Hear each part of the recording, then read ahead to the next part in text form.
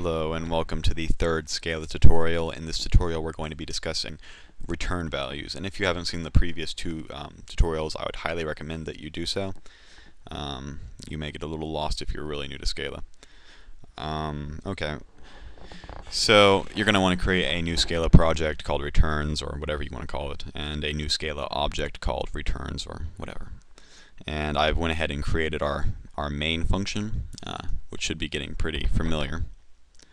And basically, uh, if you're from C++ or Java, you'd expect a void here, which means that it's not returning anything. Or in C++, main does return something, but in Java, it's void, and in Scala, it's also void. Um, but Scala does not use the term void to describe nothing. It uses the term unit.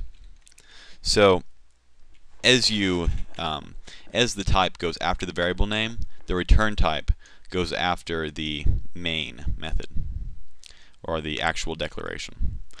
So um, it's complaining because if you have a return value, you need to have an equals sign because uh, your the return is equaling the uh, value you specify.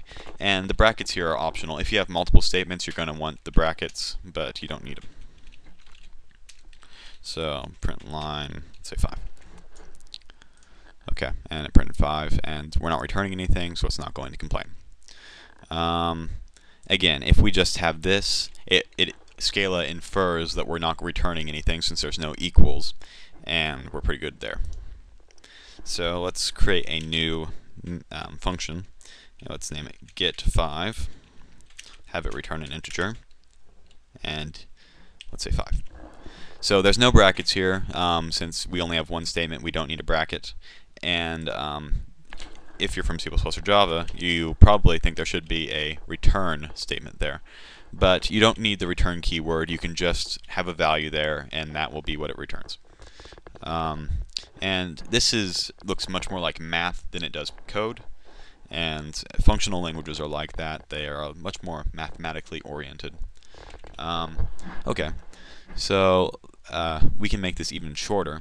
Scala um, can infer that this is an integer from it being a 5. Um, and let's just test this real quick. Okay, get 5. And it prints a 5. And furthermore, we no longer need um, empty parentheses. So if you don't have any parameters, um, you, you don't even have to put the parentheses. You can just do def get 5 equals 5. And again, it prints 5. And you also will not call it using the parentheses. It's just get5. Okay, so now that we've explored uh, return values a little bit, let's go to tuples, which are multiple return values. Um, now, if you're from C++ or Java, then probably if you wanted to return multiple statements, you would use a, say, let's say, a vector, or you would store it in an object um, or something else. In Scala, you can return multiple values. So just to make this a little bit easier on the eyes, we'll write int int. And basically what this is saying is that we're going to return two integers. You put it in parentheses and use commas to delimit the two types. So again, this is after the the definition itself and we're returning two integers.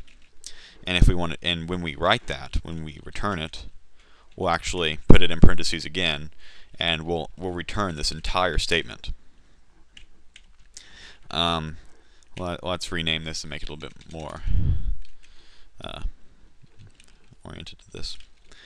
Get 1, 5. So we want to get the values 1 and 5. So this will return 1 and 5. Um, and it printed 1, 5. Um, so say we wanted to let's, let's, let's just go ahead and get rid of this because it can infer all of that. So there's no need to write all of that crap. Um, uh, and no longer we no longer need parentheses here. Um, and we still get the same thing. So say we wanted to store the return of this. We'll store it in a val, and we'll name it A, and get 1, 5. Uh,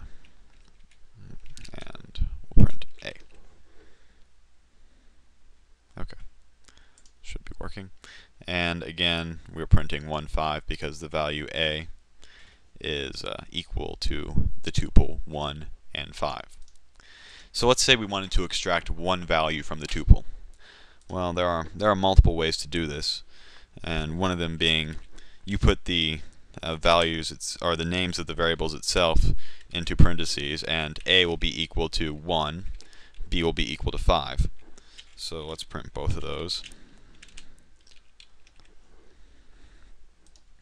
And we, we get the a and then a space and then 5. And let's say that you don't want to store the first value. Um, in Scala, there is a uh, kind of like a wildcard. Um, in Scala, it's a underscore. So an underscore means that we we really don't care. We we don't want to deal with it. Um, so in this case, we'll just store the value b being 5. And we only get 5. Um, so I hope that's given you a little insight into tuples um, and return values. Uh, I hope that made a little bit of sense. Uh, I know that was a little bit more complex than the first two. Um, but if you have any questions, then I'll be more than happy to answer them. So uh, stay tuned for the next one. Thanks. Bye.